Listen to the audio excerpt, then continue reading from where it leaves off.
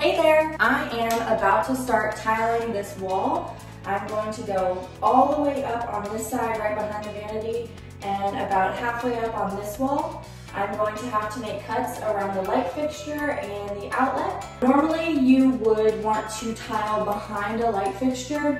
This one that we bought unfortunately won't let us do that. Um, the extenders aren't long enough to bring it out over the tile.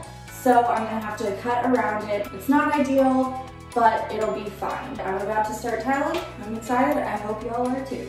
The tools I'm gonna be using today are this type one tile adhesive. I'm going to spread it just with this, it's called, then this V-notch tapered straight edge. There are three sizes of teeth and lets you choose between different sizes. This matches for the size of tile that you use. Um, so you can make bigger smaller notches if you have little mosaic tiles or larger tiles like I have. Now, before we get these tiles on the wall, I wanted to lay out everything. I measured the exact dimensions so that I could tape it out on the floor. This will allow me to lay out the exact pattern I want to do and also make sure that I have enough tiles for the whole project. I did also briefly try another pattern, but I quickly decided that is not the direction I wanted to go in and I was happy with the vertical subway tiles that I had decided on. I'm going to do two full tiles high and all the way to the ceiling on this side. Let's dive into tiling.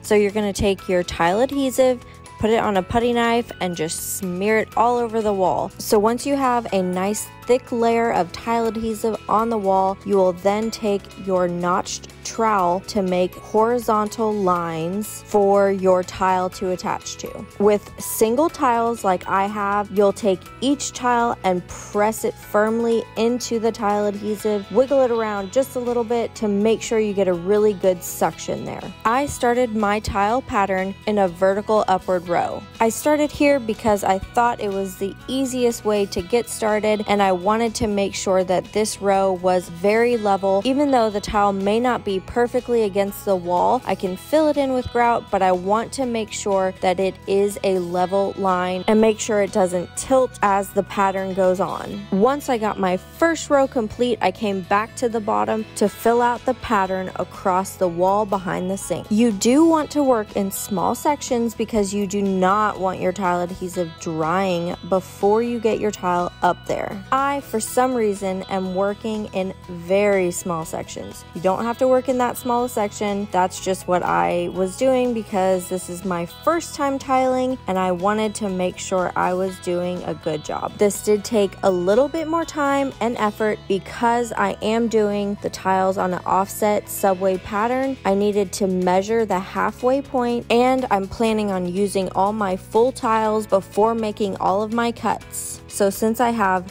12 inch tiles, I measured 6 inches up from the top of the sink to allow for a half tile that I will cut down. I did this stagger pattern across the top of the vanity and will fill in the pattern above my base here. Once I got that first layer of tiles down, it was really, really easy to continue the pattern from there because all of the measuring was done and aside from leveling each tile as I went, it went super fast from here. And if you notice that white spot above the light fixture, that is a sneak peek to our video for next week.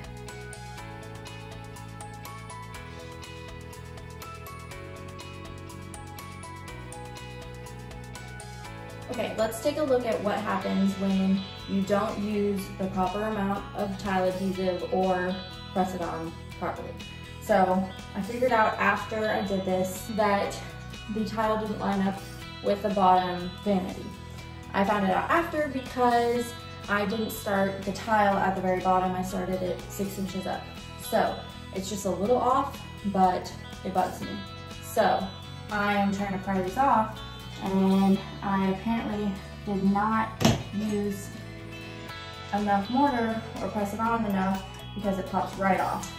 It has these couple spots that you can see the tile is pressed into and that's about it. It's You can still see the ridges on the tile adhesive. So when I redo this, I need to press it in more. I have my wet tile all set up. Um, I have a little water in it. One of the things that we read on the instructions is to never turn it on without there being water in it. I haven't used this before, it's brand, brand new. I haven't even tiled before actually, before this project, but I'm gonna work this, see if we can get everything cut down and then we'll be done.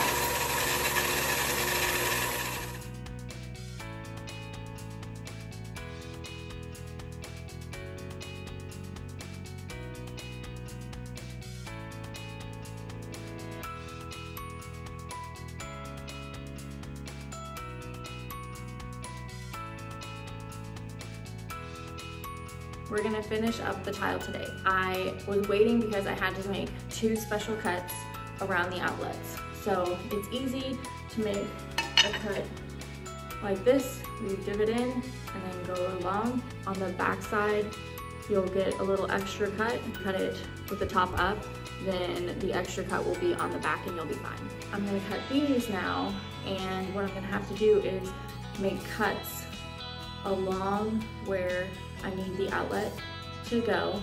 And then I'm gonna take my Dremel and score along this back edge and just break it off and it hopefully will be a clean cut.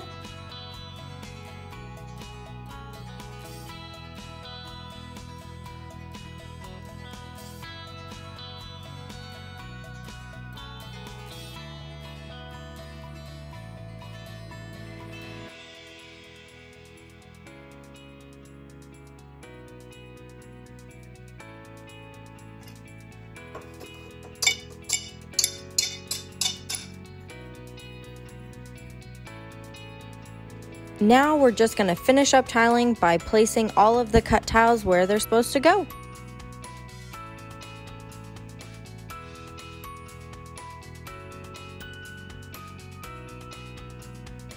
For the light switch and the outlet, I am unscrewing the screws from the junction box to bring them out forward so that I can tile behind the outlet and light switch so they sit flush when the tiling is done.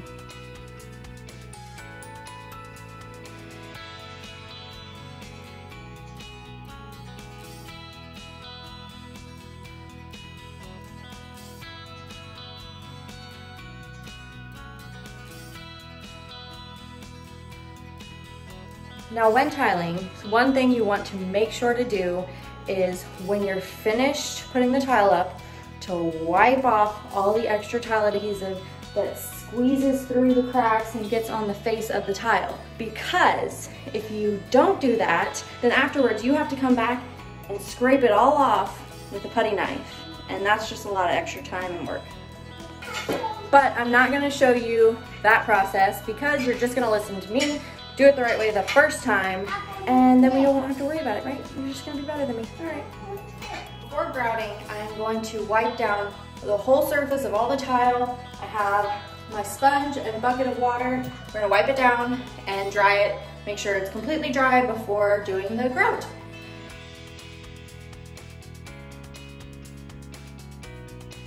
All right, we are about to make our grout. You can buy it pre-mixed. I actually bought a bag of dry sanded grout because it was on clearance. I did want the charcoal color. Um, I ended up with pewter because I didn't check the color when they gave it to me at pickup. So we're gonna try this and see how it looks and we can make adjustments if it does not look good. These are all the supplies I'm gonna be using. I have a bucket with water in there, the right amount I just measured out. This is the bucket I'm gonna be mixing in. I have a scale to measure out exactly how much grout I need and a measuring cup, scissors, and a drill with a mixing bit on it just to help mix everything really quickly. And it's all sitting on some thick plastic so I don't get any on my tile.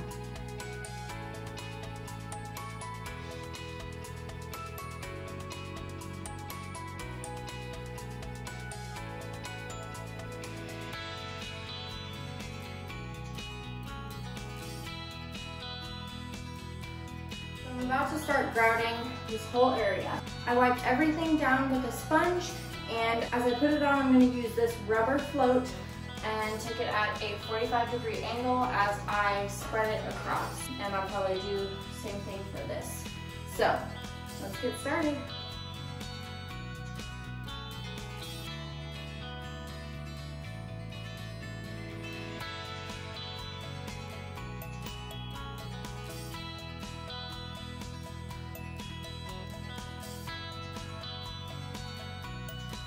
Section done, this whole wall to go.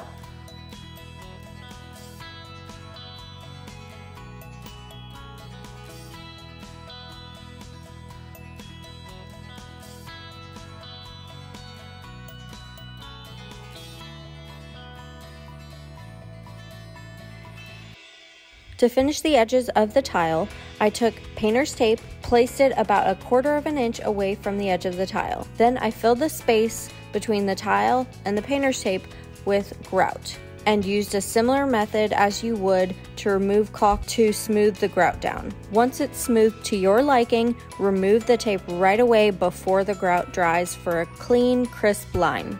You just saw Ruth install the tile, do the grouting, and we've given it a quick wipe over to get it nice and clean. And now we are ready to install the faucet. So it's a little bit tight underneath for all these connections. So there won't be too much of a in progress video as you've seen in some of these other ones. So it'll kind of be more of a before and after type thing. But the installation of the faucet can be quite easy. It just looks a little daunting. So these are eight inch faucets, they're all separate. So we have three separate holes. So we have our hot water knob, cold water knob, and the faucet as we saw. Uh, we also have our new water lines for hot and cold. And then we also have the other water lines that go from the knobs to the faucet.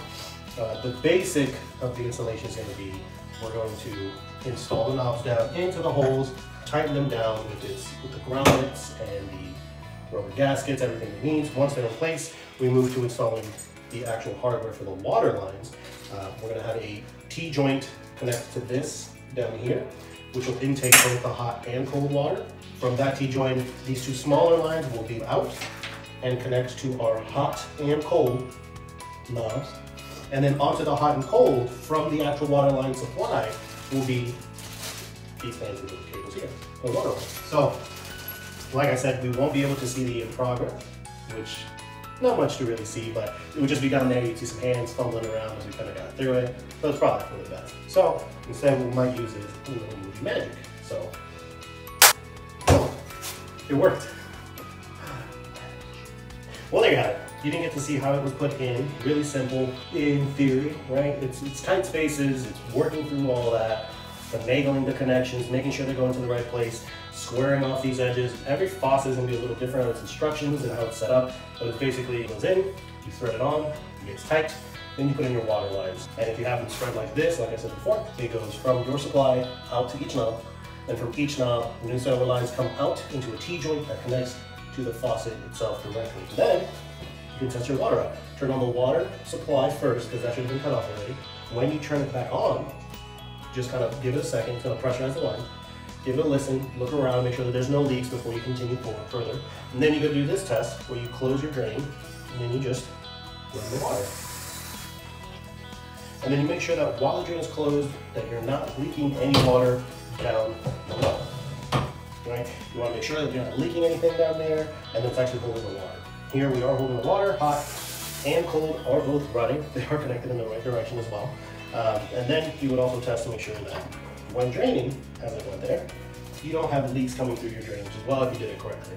You want to do it in small little steps so that it's not one big mess and you don't know where it's leaking from. Is it from the supply line? Is it from the feed-in lines? Little by little so you can eliminate as you go if you did make some mistakes. A couple tips. Uh, make sure you do use some thread sealant. You can use the little ribbons or the actual putty. I have the ribbons to put those on. Those do help with the sealing so that there is no liquid or water coming out. Easy peasy, very hard, tight spaces, a lot of cursing involved. Um, just be a little careful. I cut myself while doing it on some very sharp threads. So there you have it. We have the faucet, we have the vanity installed, we have a wonderfully tiled uh, backsplash here routed in with this very nice charcoal look. And we have this light up here, which is actually another video coming up that you'll get to see. There's actually a bit of electrical work that went into it. That light, there's another light, and you'll see that in another video. So don't forget to like and subscribe, that way you can see all the videos coming up. See all later. Bye.